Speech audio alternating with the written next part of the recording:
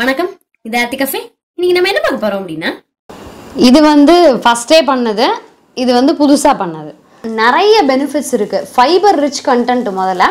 அது போக மினரல்ஸ் வந்து நிறைய இருக்குது விட்டமின் பி அந்த B B one B two B six B five B twelve எல்லாமே இருக்குது இல்லை ஒன்றுமே இல்லை. இந்த மாவை வந்து அப்படியே இந்த இந்த விரலை இப்படி மூவ் பண்ணணும் இந்த விரலை இப்படி மூவ் பண்ணணும். அதாங்க விஷயம். அதில் பார்த்தீங்க அப்படின்னா மண்டே வந்து ஒரு சயின்டிஸ்டோட பதில்கள் வரும். அதில் வந்து படித்து பார்த்தீங்க அப்படின்னா குழந்தை நமக்கே நிறைய விஷயங்கள் தெரியாது. Hi friends very good evening இந்த விலாக் வந்து ஒரு ஈவினிங்லேருந்து ஸ்டார்ட் ஆகுது. எதுலேருந்து ஸ்டார்ட் பண்ணுறேன் அப்படின்னு பார்த்தீங்கன்னா கோலம்.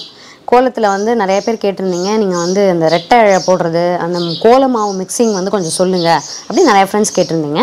ஸோ இதில் பார்த்தீங்க அப்படின்னா நார்மலாக எனக்கு இங்கே கோயம்புத்தூரில் கிடைக்கக்கூடிய ஒரு கோல மாவு அதாவது கொஞ்சம் வந்து கலர் கம்மியாக தான் இருக்கும் லைட்டாக பிளாக்காக தான் இருக்கும். அந்த மாதிரி கோல மாவு தான் நான் இங்கே வச்சுருக்கேன். நியர்லி இதோட அளவு பார்த்தீங்க அப்படின்னா ஒரு டூ ஹண்ட்ரட் கிராம் நியர்லி அப்போ அந்த இதுக்கு வந்து நான் எவ்வளவு அரிசி மாவு சேர்க்க போகிறேன் அப்படின்னு பாருங்கள் இது ஆக்சுவலி இந்த அரிசி மாவு வந்து நான் சும்மா கடையில் இப்போது நியூ இயருக்கு முன்னாடி வாங்கினது இந்த கோலத்துக்காகவே. கொஞ்சம் கொஞ்சமாக சேர்த்து சேர்த்து. அப்படி இங்கே வெளியிலே வச்சுருவேன் அதை. இதில் அதை தான் இப்போ ஆட் பண்ண போகிறேன் ஸோ இதில் வந்து எவ்வளோ ஆட் பண்ணலாம் அப்படின்னு பார்த்தீங்கன்னா ஒரு டுவெண்ட்டி ஃபைவ் கிராம்ஸ் அவ்வளோதான் நீங்கள் அளவுக்கு பார்த்தீங்கன்னா அவ்வளோதான் ஸோ கொஞ்சம் இன்னும் ஒரு இருபத்தஞ்சு கிராம் அதுக்கு மேலே வேண்டவே வேண்டாம். ஏன்னா உங்களுக்கு மாவு வந்து இழுக்க வராது. ரொம்ப அரிசி மாவு சேர்த்துட்டோம்னு வச்சுக்கோங்களேன். இழுக்கவே வராது. அதனால் இந்த அளவுக்கு நீங்கள் வந்து கொஞ்சம் மாவை மிக்ஸ் பண்ணிவிட்டு இப்போ நீங்கள் பா நான் போட்ட அளவு கூட உங்களுக்கு தெரியும் கையில். அவ்வளோதான் இதுக்கு மேலே வந்து வேண்டவே வேண்டாம். அவ்வளோதான் நீங்கள் டோட்டலாக மெஷர் பண்ணி பார்த்தீங்க அப்படின்னா அவ்வளோதான் கிடைக்கும் அது. ஸோ நல்லா அங்கே நான் ஃபுல்லாக மிக்ஸ் பண்ணிவிட்டு போ நம்ம வந்து ரெட்டை இப்போ எப்படி போடுறது அப்படிங்கிறத காமிக்கிறேன். நான் டோட்டலாக இப்படி சேர்த்துட்டோம் அப்படின்னா நமக்கு வந்து நல்ல கலர் பளிச்சுன்னு இருக்கும். அதே சமயத்தில் இழுக்கிறதுக்கும் பிரச்சனை இல்லாமல் இருக்கும். அப்புறம் கோல மாவு வாங்கும்போது ரொம்ப இப்போ நர நரன்னு கல் மாதிரி கிடைக்குது. அந்த கோல மாவு வந்து அழகான இழை வராது. மாவு வந்து நைஸாக இருக்கணும். அந்த மாதிரி மாவை கொஞ்சம் செலக்ட் பண்ணி வாங்கிக்கிட்டீங்க அப்படின்னா ஈஸியாக இருக்கும். ஸோ இப்போ நல்லா மிக்ஸ் பண்ணிவிட்டேன் இதில் வந்து நம்ம கோலத்தை வந்து போட ஆரம்பிக்கலாம். முதல்ல வந்து எப்படி நம்ம மாவை எடுக்கணும் அப்படின்னு பார்த்தீங்கன்னா இந்த இந்த மாதிரி மூணு விரல் இப்படி வச்சுக்கோங்க. இப்படி வச்சு இப்படி தான் மாவு எடுக்கணும். அப்படி எடுக்கும்போது இந்த கேப்பு இந்த ரெண்டு இந்த கேப்பில் வந்து மாவு விழணும். அப்போ உங்களுக்கு ரெட்டை இழை தானாக வரும். இப்படி விழணும் மாவு. ஸோ இப்போ நான் வந்து சும்மா ஒரு இழை போட்டு காமிக்கிறேன். இப்படி எடுத்து அப்படியே நைஸாக அந்த கட்டை விரலால் மாவு அப்படியே தள்ளிட்டே வரணும். அப்படியே ரெண்டு இழை வர ஆரம்பிச்சிடும் இப்படி தான் நம்ம ரெண்டு இழை போடுறோம். அப்படியே ஒன்றுமே இல்லை. இந்த மாவை வந்து அப்படியே இந்த இந்த விரலை இப்படி மூவ் பண்ணணும் இந்த விரலை இப்படி மூவ் பண்ணணும். அதாங்க விஷயம். ஸோ நார்மலாக இப்போ ஒரு சின்ன கோலம் தான் போட போகிறேன்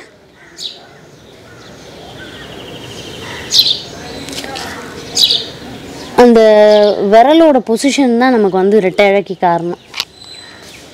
அப்புறம் மாவோட தன்மை. அப்புறம் இன்னொன்று என்னன்னு பார்த்தீங்கன்னா தரையை வந்து ரொம்ப தண்ணி இல்லாமல் ஈரமே இல்லாமல் இருக்கக்கூடாது ரொம்பவும் ஈரம் இருக்கக்கூடாது. அப்படி போட்டால் தான் கோலம் வந்து பளிச்சுன்னு இருக்கும்.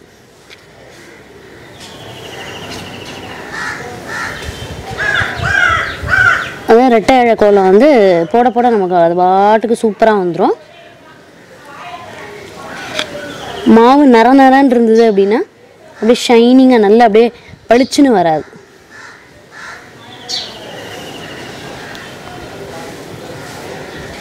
டக்கு டக்கு டக்குன்னு போட்டு போயிட்டே இருக்கலாம். அது என்ன ஒரு ரெண்டு ரெண்டு வாரம் போட்டோம் அப்படின்னா ஸ்பீடும் வந்துடும் ஸோ இப்படி தான் நானும் வந்து ஆர்த்திக்கும் சொல்லி கொடுத்துட்ருக்கேன் இப்போ லீவு ஆரம்பிச்சதுக்கப்புறமா டோட்டலாக அவ்வளோதான் வந்து கோலம் திருப்பி போட சொல்லி பழக்கணும் தானாக குழந்தைங்களுக்கு சின்ன வயசுலேருந்தே போடும்பொழுது அதே வந்துடும் அவங்களே வந்து இப்படி தான் கோலம் போடணும்னு இல்லாமல் அழகாக அவங்களுடைய ட்ராயிங் திறமை எல்லாத்தையுமே வாசலில் காமிக்கலாம் ரங்கோலி மூலமாக ஸோ இன்றைக்கி வந்து கோலம் போட்டாச்சு. இதெல்லாம் ஃபுல்லாக ரெட்டை இல்லை அரிசி மாவில் போடும்போது அந்த எறும்புகளும் வந்து அப்படியே சாப்பிட ஆரம்பிக்கும். அதுக்கும் நம்ம ஆக்சுவலாக அதுதான் அரிசி மாவு கோலம் போடுறது வந்து சின்ன சின்ன உயிரினங்கள் சாப்பிட்றதுக்காக தான் ஸோ இப்போ நம்ம வந்து அடுத்து ஒரு இன்ட்ரெஸ்டிங்கான விஷயத்தை பார்ப்போம். இதுதாங்க அந்த இன்ட்ரெஸ்டிங்கான விஷயம். அதாவது நம்ம குழந்தைகளுக்கு ஒரு குட்டியாக ஒரு கிஃப்ட் பாக்ஸ் அவங்களுடைய ஃப்ரெண்ட்ஸுக்கு அவங்களே வந்து செஞ்சு கொடுக்குற மாதிரி சின்னதாக ஏதாவது இப்போது கேர்ள்ஸ்னு வச்சுக்கோங்களேன் அவங்க வந்து ஏதோ ஒரு இயர்ரிங்கு வளையல் அந்த மாதிரி ஏதாவது கொடுப்பாங்க. ஸோ அதுக்கு வந்து இந்த மாதிரி குட்டி பாக்ஸை எப்படி அழகாக செய்யலாம் அப்படிங்கிறத நம்ம இன்றைக்கி பார்க்க போகிறோம் ஸோ இப்போ பார்த்தீங்கன்னா நான் அந்த கிஃப்ட் ரேப்பர் பண்ணுற மாதிரி இது வந்து நல்ல ஒரு ஷைனிங்கான ஒரு பேப்பர் இதில் தான் பண்ண போகிறேன் இது வந்து ஃபோல்டிங்க்கும் ஈஸியாக இருக்கும். திக்காக வேணும் அப்படின்னா சார்ட்டில் கூட நீங்கள் ட்ரை பண்ணிக்கலாம். இல்லை அந்த ஒரு திக்கான அட்டையை வந்து நடுவில் வச்சு கூட நீங்கள் ஃபோல்டு பண்ணிக்கலாம். ஸோ இப்போ வந்து ஏ ஃபோர் சைட் சைஸில் இருக்கக்கூடிய பேப்பர் தான் அது இதில் வந்து இந்த நார்மலாக ஸ்கொயருக்கு வந்து வச்சுருப்போம் இல்லையா? இந்த மாதிரி ஸ்கொயருக்கு வந்து நீங்கள் என்ன பண்ணுங்கள் நல்லா இந்த மாதிரி ஒரு ட்ரையாங்கிள் ரொம்ப மடிக்காமல் மடிச்சிங்கன்னா அந்த மடிப்பு விழும். ஒரு ட்ரையாங்கிள் பண்ணி அந்த இந்த இடத்துல கட் பண்ணிட்டோம் அப்படின்னா அது டோட்டலாக வந்து உங்களுக்கு ஒரு அருமையான ஸ்கொயராக வந்துடும் ஸோ இப்போ இந்த மாதிரி ஒரு ஸ்கொயர் கிடச்சிருச்சு. இப்போ இதை வந்து என்ன செய்வோம்? நல்ல ஓவர்லேப் ஒன்றோட ஒன்று ஓவர்லேப் ஆகாத மாதிரி எப்படி கட் பண்ணி இப்படி செஞ்சுக்கலாம்? மடிச்சுக்கலாம். ஃபுல்லாக ஃபோல்டிங் தான். இந்த மாதிரி நல்லா அப்படியே ஒன்றோட ஒன்று ஓவர்லேப் ஆகக்கூடாது. அந்த மாதிரி. நாலு பக்கமும் இதே மாதிரியே தான் செய்ய போகிறோம் ஸோ நாலு பக்கமும் இந்த மாதிரி மடிச்சுக்குவோம். ஆக்சுவலாக ப்ரொஃபஷ்னலாக கிராஃப்ட் செய்கிறவங்க கிடையாது நாம். எப்படி இருந்தாலும் இதெல்லாம் நம்ம செய்யும் பொழுது நம்ம மனசுக்கு வந்து ஒரு ஜாலி கிடைக்கும். ஸோ அதனால் குழந்தைகளுக்கு வந்து ரொம்ப காம்ப்ளிகேட்டடாக இருக்கக்கூடிய விஷயத்த வந்து ஃபஸ்ட்டு சொல்லாமல் அந்த மாதிரி ஈஸியாக ஃபோல்டிங்காக சொல்லி கொடுத்து உன்னோட இப்போ நீ வந்து உன் ஃப்ரெண்டுக்கு ஏதாவது ஒரு கிஃப்ட் கொடுக்குற அப்படின்னா நீ இதே பண்ணி கொடு. ஸோ நீ உன் கையால் பண்ணி கொடுக்கும்போது அவங்களுக்கு வந்து ஒரு உனக்கே ஒரு ஹாப்பினஸ் கிடைக்கும் அப்படின்னலாம் சொன்னோன்னு வச்சுக்கோங்களேன் அவங்களுக்கு புரியும். ஸோ ஓவர்லேப் ஆகாமல் எல்லாம் ஃபோ ஃபுல்லாக கம்ப்ளீட்டாக ஃபோல்டு பண்ணிடலாம். பண்ணிவிட்டு இப்போ இந்த மாதிரி இங்கேயும் வந்து பார்த்தீங்க அப்படின்னா ஒரு நல்ல ஃபோல்டு பண்ணதுக்கப்புறம் ஒரு ஸ்கொயர் கிடைக்கும். இப்போ இதை வந்து நம்ம என்ன செய்ய போகிறோம் அப்படின்னா இந்த மாதிரி இந்த பக்கம் வந்து நடுவில் வந்து கரெக்டாக இங்கே வந்து இப்படி ஃபிக்ஸ் ஆகணும். அந்த மாதிரி இப்படி ஒரு மடிப்பு. இப்படி ஒரு மடிப்பு. நடுவில் வந்து ஃபிக்ஸ் ஆகிக்கணும்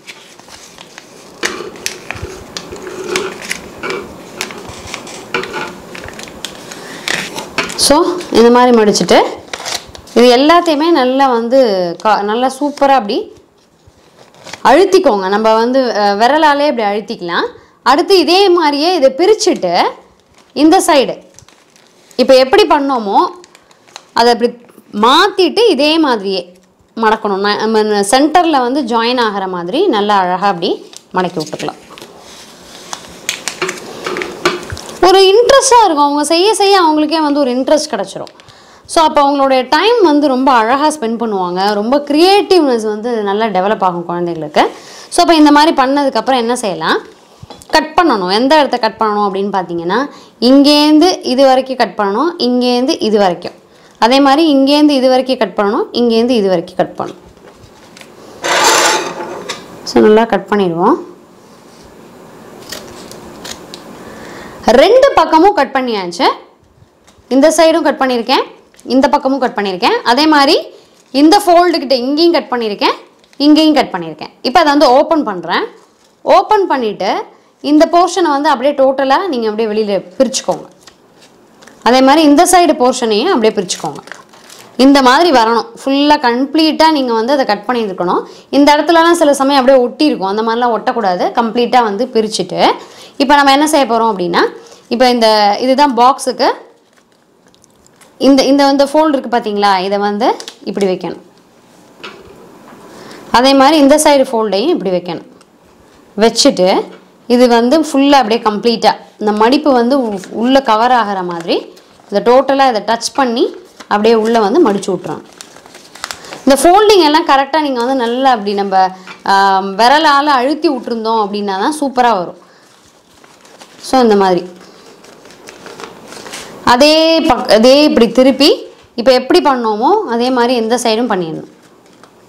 இதை இப்படி மடிச்சுக்கோங்க? இதை இப்படி மடிச்சுக்கோங்க? இந்த சைடை வந்து இப்படி உள்ளே விட்டு நல்லா அப்படியே அமைக்கி விட்ருங்க நல்லா இப்படி ஃபோல்டு பண்ணாதான் இது வந்து நல்லா ஸ்ட்ராங்காக நிற்கும் இப்படி ஃபுல்லாக ஃபோல்டு பண்ணிவிட்டு ஸ்ட்ராங்காக நிற்கும் ஸோ இந்த மாதிரி கிடைக்கும் உங்களுக்கு. இந்த சைடு இங்கே இந்த நாலு கார்னரையும் கூட நீங்கள் வேணும்னா என்ன செஞ்சுக்கலாம் அப்படின்னா ஒட்டிக்கலாம். ஒட்டிட்டு அது பாட்டுக்கு பாக்ஸ் மாதிரி அப்படியே நின்றுக்கும் ஸோ நான் இப்போ வந்து ஒட்டிடுறேன் கம் வச்சு. இது பார்த்தீங்கன்னா நடுவில் மட்டும் ஒட்டியிருக்கேன். இதை வந்து நம்ம பாக்ஸோட மூடி அப்படின்னு வச்சுக்கிட்டோம்னா பாக்ஸ் பார்த்தீங்க அப்படின்னா இதை விட கொஞ்சம் சின்னதாக இருக்கணும் ஒரு நூல். அப்போ தான் வந்து இதை வச்சு மூட முடியும். ஸோ இதான் வந்து மூடி. பார்த்தீங்கன்னா ரொம்ப அழகாக நல்ல அட்ராக்டிவாக இருக்குது ஸோ கலர்ஸ் மட்டும் நீங்கள் குழந்தைங்களுக்கு பிடிச்ச கலராக வாங்கி கொடுத்து இந்த மாதிரி செய்ய சொல்லலாம். ஸோ இப்போ நம்ம வந்து உள்ள பாக்ஸ் கீழே இருக்கக்கூடிய போர்ஷனை செஞ்சுருவோம். அதுக்கு என்ன பண்ணணும் அப்படின்னா இதே மாதிரி பேப்பர் தான் இதனுடைய சைஸை வந்து கொஞ்சம் கம்மி பண்ணுறேன் நான். இப்போ இந்த நம்ம ஏ ஃபோர் சைஸ் ஷீட்டு தானே எடுத்திருந்தோம். இதில் வந்து இதனுடைய பிரெத் இருக்குல்ல லென்த்தெல்லாம் அதே தான். இந்த பிரெத்தை வந்து கொஞ்சம் கம்மி பண்ணுறேன் லைட்டாக கொஞ்சம் ஒரு நீங்கள் வந்து ஒரு அரை சென்டிமீட்டர் அப்படி கூட வச்சுக்கலாம். ஒரு அரை சென்டிமீட்டர் வந்து கம்மி பண்ணி ரொம்ப கம்மி பண்ணிடக்கூடாது ரொம்ப தொல தொலன்னு ஆகிடும் சும்மா லைட்டாக இப்போ நான் பண்ணுறேன் பாருங்களேன் இதெல்லாம் சும்மா கண் மெஷர்மெண்ட் தான். இவ்வளோ தான் இப்படி பண்ணணும் அப்படி பண்ணணுங்கிறது இல்லை. சும்மா லைட்டாக கண்ணை கண் மெஷர்மெண்ட் தான் இதெல்லாமே. இதை வந்து அப்படியே கட் பண்ணிவிட்டு இந்த பேப்பரை வச்சு இதே ப்ரொசீஜரில் நம்ம வந்து கீழ் போர்ஷனை செஞ்சு முடிச்சிடுவோம். ஸோ இதை நான் கட் பண்ணி எடுத்துட்டேன் அப்படின்னா உங்களுக்கு இந்த அளவுக்கு தான் பிரெத்து கிடைக்கும். அதில் இதே மாதிரி பண்ணி நம்ம பாக்ஸை வச்சு அப்படியே மூடிடலாம். ஸோ நம்ம அதை வந்து செஞ்சுட்டு பார்ப்போம். பாக்ஸை கம்ப்ளீட் பண்ணிவிட்டு பார்ப்போம். இது வந்து ஃபஸ்ட்டே பண்ணது. இது வந்து புதுசாக பண்ணது. ஸோ அப்போ இதை தான் நான் பாக்ஸுன்னு சொல்கிறேன் இதை வந்து மூடின்னு சொல்கிறேன் இப்போ பார்த்தீங்க அப்படின்னா அந்த ஒரு- நம்ம கட் பண்ணதுனால ஒரே ஒரு நூல் இதை விட அது பெருசாக இருக்கும். ஸோ இதை வச்சு அழகாக நம்ம வந்து மூடி வச்சிடலாம். மூடி உள்ளே வந்து ஏதாவது ஒரு கிஃப்ட் வச்சு அழகாக கொடுத்துட்டோம் அப்படின்னா பார்த்தீங்க அப்படின்னா ஒரு சூப்பரான பாக்ஸு அருமையான பாக்ஸு நல்ல கிஃப்ட்டு ரேப் பண்ண மாதிரியே ஒரு அழகான பாக்ஸ் கிடச்சிருச்சு. உங்களுக்கு வந்து கான்ட்ராஸ்ட் கலர் வேணும் அப்படின்னா நம்ம இன்னும் இஷ்டத்துக்கு green with pink golden with pink white with pink silver with pink எது வேணாலும் யூஸ் பண்ணிக்கலாம். நான் இன்னைக்கு எங்கிட்ட இருந்து அந்த கலர் வச்சு உங்களுக்கு செஞ்சு காமிச்சேன். நீங்கள் என்ன பெரிய கிராஃப்ட் டீச்சரா இது ரொம்ப அழகாக உங்களுக்கு சொல்லித்தர தெரியுமா? அப்படிங்கிற கேள்வி உங்களுக்கு வரலாம். என்னவா இருந்தாலும் நம்ம குழந்தைகளுக்கு ஃபஸ்ட்டு நாம தானே டீச்சர் எந்த விஷயமா இருந்தாலும் நாம தான் சொல்லி கொடுக்குறோம். அதனால் இதுவும் நாம் வந்து நமக்கு கிடைக்கிற டைமில் நல்ல ஈஸியாக நல்ல ஒரு சூப்பராக இருக்கக்கூடிய கிராஃப்டாக கற்றுக்கிட்டு குழந்தைகளுக்கு அதை சொல்லி கொடுத்தோம் அப்படின்னா அவங்களே ஏன் இப்போ எல்லாம் பார்த்துட்ருக்காங்கல்ல அவங்க ஃபோனை பார்த்து கற்றுக்க மாட்டாங்களே அதை நாம் வேறு சொல்லி கொடுக்கணுமா அப்படின்னு இருக்கலாம். பட் அழகாக நாம் சொல்லி கொடுத்தோம். நமக்கு தெரிஞ்சதை அவங்கள உட்கார சொல்லி கொடுத்தோம்னா இன்ட்ரெஸ்ட்டாக கற்றுக்குவாங்க அவங்க கூட சேர்ந்து நாமளும் செஞ்சோம் அப்படின்னா பொதுவாகவே அதுக்கு வந்து மதிப்பு தனி தான் அதனால் இதை வந்து குட்டியாக இதில் ஏதோ ஒரு கிளிப்போ தோடோ இல்லை இந்த மாதிரி செயினோ அதெல்லாம் போட்டு பசங்க வந்து தன்னோட ஃப்ரெண்ட்ஸ் கொடுக்கறதுக்கு சூப்பராக இருக்கும். ஸோ எனக்கு வந்து இது ரொம்ப பிரோஜனமான ஒரு பொருளாக ரொம்ப சந்தோஷமாக இருந்தது. அதனால தான் நான் வந்து இது உங்களுக்கு ஷேர் பண்ணேன். ஆல்ரெடி நம்ம லாங்குவேஜ் இங்கிலீஷ் அதை பற்றி நிறைய பேசியிருக்கோம். எப்படி டெவலப் பண்ணிக்கலாம் எந்த மாதிரி இன்ட்ரெஸ்ட் வந்து பசங்களுக்கு கொண்டு வரலாம் அப்படின்னு சொல்லிட்டு.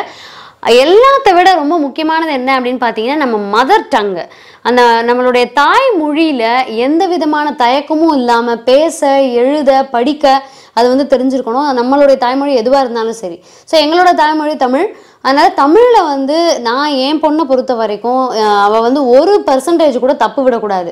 படிக்கிறதுலையும் விடக்கூடாது எழுதுறதுலையும் விடக்கூடாது. ஏதாவது ஒரு விஷயத்த வந்து ஒரு டாபிக் கொடுத்தோம் அப்படின்னா அது அதுலேருந்து தானாகவே ஒரு ரெண்டு மூணு நிமிஷம் பேச தெரியணும். அதில் வந்து காம்ப்ரமைஸே பண்ணிக்கவே கூடாது நம்ம. அப்போ தான் அவங்களோட இமேஜினேஷன்லேருந்து எல்லாமே நல்லபடியாக வரும். அவங்களுடைய கருத்துக்களை வந்து வெளியில் தெளிவு தெரியப்படுத்துறதுக்கு ரொம்ப யூஸ்ஃபுல்லான விஷயம் அது. ஏன்னா நம்மளுடைய ஃபீலிங்ஸு நம்மளுடைய கனவுகள் எல்லாமே வந்து நம்ம ஆட்டோமேட்டிக்காக மதர் டங்கில் தான் வரும். அப்போ என்னை பொறுத்த வரைக்கும் அதில் எந்த விதமான தப்பும் விடக்கூடாது. அது ரொம்ப ஒரு- ஒரு அசிங்கமான ஒரு விஷயம். அது வந்து ஒரு நல்ல விஷயம் இல்லை அப்படின்னு தான் நான் நினைக்கிறேன். அப்போ எப்படி நம்ம வந்து இங்கிலீஷ்க்கு வந்து த ஹிந்து இன் ஸ்கூல்ஸ் அதை வந்து நான் என்கரேஜ் பண்ணுறேனோ அதே மாதிரி தான் தினமலரில் வரக்கூடிய சப்ளிமெண்ட் வந்து பட்டம். இந்த பட்டம் வந்து மண்டே மட்டும்தான் வருது. இப்போ ஆக்சுவலி அவங்க ஸ்கூலில் வந்து சொல்லியிருக்காங்க நெக்ஸ்ட் வந்து வரக்கூடிய அகடமிக் இயரில் வந்து டோட்டலாக எல்லா நாளும் அது ஸ்கூலில் மட்டும்தான் கிடைக்கும். ஸ்கூல் எடிஷன் வந்து டெய்லியே வரும் பட்டம். அதில் வந்து அவளை பேர் கொடுக்க சொல்லியிருக்கேன். ஏன்னா அவங்க இந்த வருஷம் தான் வாங்க ஆரம்பிக்க போகிறாங்க அதனால் டெய்லியே வந்து பட்டம் வந்துடும் ஸோ இப்போ இந்த பட்டத்தை பொறுத்த வரைக்கும் குழந்தைகளுக்கு தேவையான அவ்வளோ விஷயங்கள் அவங்களுடைய சைக்கலாஜிக்கலாக என்னென்ன ப்ராப்ளம்ஸ் ஃபேஸ் பண்ணுறாங்க இந்த வயசு குழந்தைங்களுக்கு என்ன மாதிரியான விஷயங்களில் சந்தேகங்கள்லாம் வரும் அப்படின்னு வரிசை அவ்வளோ சூப்பராக கொடுத்துருப்பாங்க. அதில் பார்த்தீங்க அப்படின்னா மண்டே வந்து ஒரு சயின்டிஸ்டோட பதில்கள் வரும். அதில் வந்து படித்து பார்த்தீங்க அப்படின்னா குழந்தை நமக்கே நிறைய விஷயங்கள் தெரியாது. அந்த அளவுக்கு வந்து ரொம்ப டீட்டெயிலாக அழகாக கொடுத்துருப்பாங்க. நிறைய புதிர்கள் அது எல்லாம் வந்து வரும். இப்போ பார்த்தீங்க அப்படின்னா இன்னைக்கு வந்த நார்மலாக இன்னைக்கு அப்படிங்கிறது நான் ஒன்பதாம் தேதி சொல்கிறேன் அச்சம் தவிர் அப்படின்னு சொல்லிட்டு அந்த கொரோனா வைரஸை பற்றி அவ்வளோ அழகாக கொடுத்துருந்தாங்க. அது என்னென்னலாம் எப்படி எப்படி அதில் வந்து என்ன சந்தேகம் வருது சரியா தப்பா அந்த மாதிரி ஏகப்பட்ட டீட்டெயில்ஸ் கொடுத்துருந்தாங்க. இதை வாசிக்கும் பொழுது அவங்களுக்கு வந்து நல்ல ஒரு தெளிவும் தமிழில் வந்து தப்பே வராத அளவுக்கு நல்ல புலமையும் கிடைக்கும் அவங்களுக்கு. ஸோ ரொம்ப அருமையான ஒரு விஷயம். லாங்குவேஜ் வளர்க்குறது அப்படிங்கிறது தமிழாகட்டும் இங்கிலீஷ் ஆகட்டும் நல்ல ஃபஸ்ட்டு ப்ரிஃபரன்ஸ் வந்து நம்மளுடைய தாய்மொழிக்கு. அடுத்து வந்து யுனிவர்சலாக இருக்கக்கூடியதுனால இங்கிலீஷும் ரொம்ப முக்கியமான ஒரு விஷயம். ஸோ இந்த மாதிரி வந்து குழந்தைகளை டெய்லியே பே டோட்டலாக தமிழ் இங்கிலீஷ் ரெண்டையுமே படிக்கிறதுக்கு ஒரு அரை மணி நேரம் ஒதுக்கினா ரொம்ப யூஸ்ஃபுல்லாக இருக்கும். இப்போ ஆக்சுவலி வந்து நம்ம குவிஸ் நடத்துகிற மாதிரி இதுலேயே நான்கில் ஒன்று சொல் அப்படின்னு சொல்லிட்டு ரொம்ப அழகாக அதே மாதிரியே கொடுப்பாங்க. அதே நம்ம வந்து யூஸ் பண்ணிக்கலாம். ஸோ தமிழ் இங்கிலீஷ் ரெண்டுமே முக்கியம். அவங்கவுங்க மதர் டங் ரொம்பவே முக்கியம். அதுக்கேற்ற மாதிரி வளர்த்துக்கலாம் நம்ம. ஸோ இப்போ வந்து நம்ம டின்னருக்கு போயிடலாம். டின்னர் டைம் வந்தாச்சு. ஸோ சைட் டிஷ் வந்து ரெடி பண்ணிகிட்ருக்கேன் இருக்கேன். மெயின் டிஷ் வந்து ஒரு ஸ்பெஷலான டிஷ் தான். அது எந்தன்னு பார்த்தீங்கன்னா சோள தோசை. ஸோ நான் சோள தோசை நான் வாக்கும்போது காமிக்கிறேன். சைட் டிஷ் வந்து நார்மல் தக்காளி வெங்காய சட்னி. ஒரு நாலு பெரிய வெங்காயம் நாலு தக்காளி போட்டு வதக்கிட்டு இருக்கேன். வதங்கிடுச்சு. உப்பெல்லாம் போட்டு வதக்கியாச்சு. ஆஃப் பண்ணிவிடுவோம் இது ஆற விட்டு நம்ம சட்னி அரைச்சிடலாம். அப்புறம் முருங்கைக்காய் சாம்பார் இன்றைக்கி அதுவும் கொஞ்சம் தான் இருக்குது பட் இது பத்தாது. அதனால் நாங்கள்லாம் ஏற்கனவே தெரியும். நிறையா இதில் சொல்லியிருக்கேன் வீடியோவில் ஒரு தோசைனாலும் சாம்பார்னால் நமக்கு ரெண்டு ரெண்டு கரண்டி வேணும். அது பத்தாது. அதனால சைட் டிஷ் இன்னும் கொஞ்சம் அடிஷ்னலாக அரைச்சிடலாம் அப்படின்னு சொல்லிட்டேன். ஸோ இதை அரைச்சிட்டு சோள தோசை வாக்கும்போது பார்க்கலாம். ஸோ இது வந்து சோள மாவு. சோளம்னா மக்காச்சோளம் இல்லை அந்த சின்ன சின்ன வெள்ளை சோளம். குட்டி குட்டி மணியாக இருக்கும். அந்த சோளத்தில் அரைச்ச மாவு நியர்லி வந்து சோளத்தை பார்த்தீங்க அப்படின்னா ஒரு அஞ்சு மணி நேரம் ஊற வைக்கணும். உளுந்து ஆஸ் யூஷுவல் எப்பயும் போல் த்ரீ ஹவர்ஸ் ஊறினா போகிறோம் சோளம் மட்டும் நிறைய டைம் ஊறணும். கிரைண்டர்லேயே ஊற வச்சு மாவு புளிக்க வைக்கிற மாதிரியே புளிக்க வச்சு அரைச்சது. கலர் பார்த்தீங்கன்னா உங்களுக்கு வித்தியாசம் தெரியும். வெள்ளை வெள்ளையர்னு இருக்காது. கொஞ்சம் வந்து ஒரு ஐவரி கலர் மாதிரின்னு வச்சுக்கோங்களேன். அந்த கலரில் இருக்கும். ஸோ இப்போ இதை தான் நம்ம இட்லியாகவும் வாத்துக்கலாம் தோசையாகவும் வாத்துக்கலாம். சொல்ல போனால் இட்லியை விட தோசை வந்து கொஞ்சம் டேஸ்ட்டாக இருக்கும். ஸோ இதை வந்து நம்ம வாத்து சிறுதானியங்களை எப்போதுமே சூடாக சாப்பிட்றது தான் நல்லது. ஸோ நல்லா ஆஸ் யூஷுவல் எப்பயும் போல் தோசையை வாத்துக்கலாம்.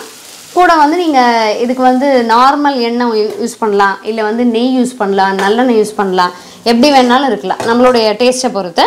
ஸோ நான் நார்மல் எண்ணெய் தான் யூஸ் பண்ணுறேன் ரீஃபைண்ட் ஆயில் தான் யூஸ் பண்ணுறேன் போட்டு நல்ல கிறிஸ்பியாக எப்பயும் போல் அரைச்சி எடுத்துடலாம் வாத்து எடுத்துடலாம். சோளத்தை பொறுத்த வரைக்கும் நிறைய பெனிஃபிட்ஸ் இருக்குது ஃபைபர் ரிச் கண்டென்ட் முதல்ல. அது போக மினரல்ஸ் வந்து நிறைய இருக்குது விட்டமின் பி அந்த B B one B two B six B five B twelve எல்லாமே இருக்குது இதில் அவ்வளவு சத்துக்கள் நிறைஞ்சது தான் நம்ம சிறுதானியங்கள். ஸோ நிறைய இப்போ ஆர்டிகஃபைல பார்த்தீங்கன்னா நியர்லி இருபத்தி அஞ்சு ரெசிபீஸ் வந்து சிறுதானியத்தை வச்சு போஸ்ட் பண்ணி தனி பிளேலிஸ்ட்டே இருக்குது ஸோ நீங்கள் அதை ரெஃபர் பண்ணிங்கன்னா நிறைய டிஷ்ஷஸ் வந்து கிடைக்கும். இப்போ அந்த கலர் சேஞ்ச் ஆகிடுச்சு இப்போ நடுவில் மட்டும்தான் உங்களுக்கு கொஞ்சம் வேகணும். பார்த்தீங்கன்னா அப்படியே அந்த அழகாக நமக்கு தோசைக்கு தேவையான அந்த கலர் வந்தாச்சு. ஸோ இதை திருப்பி போட்டுடலாம். அந்த உளுந்தோடைய கண்டென்ட் என்னன்னு பார்த்தீங்கன்னா நாலு பங்கு சோளத்துக்கு ஒரு பங்கு உளுந்து. அதுதான் வந்து இந்த சோள தோசைக்கு எப்பயுமே நம்ம வந்து போடுற அந்த சிறுதானியங்களுக்கு அதுதான் அளவு. நாலு பங்குக்கு ஒரு பங்கு உளுந்து. அதுதான் கணக்கு. ஸோ இதில் அரிசி கொஞ்சம் கூட சேர்க்கல. முழுசாக வந்து சோளமும் உளுந்தும் சேர்ந்தது தான் ஸோ இதே மாதிரியே நல்லா டீப்பாக கீழையும் வந்து ஃப்ரை ஆனதுக்கப்புறம் எடுத்துக்கலாம். வதக்கி வச்சுருந்த தக்காளி வெங்காயத்தையும் அரைச்சி நான் சட்னியாக வச்சாச்சு. ஸோ இப்போ வந்து எங்- எங்களுடைய டின்னர் வந்து நல்ல ஹெல்த்தியாக சூப்பராக வந்து ஃபினிஷ் ஆக போகுது. நீங்களும் இந்த மாதிரி சிறுதானியங்களை அடிக்கடி சேர்த்துக்கோங்க. வாரத்தில் அட்லீஸ்ட் ஒரு ரெண்டு தடவையாவது ஏதோ ஒரு வகையில் மத்தியானம் லஞ்சுக்கோ காலம்புற பிரேக்ஃபாஸ்ட்டுக்கோ டின்னருக்கோ எப்படி வேணாலும் சேர்த்துக்கலாம். ஸோ இது இந்த vlog வந்து உங்களுக்கு யூஸ்ஃபுல்லாக இருக்கும் அப்படின்னு நினைக்கிறேன். இன்னும் ஒரு நல்ல அருமையான வீடியோவில் சந்திக்கலாம். தேங்க்யூ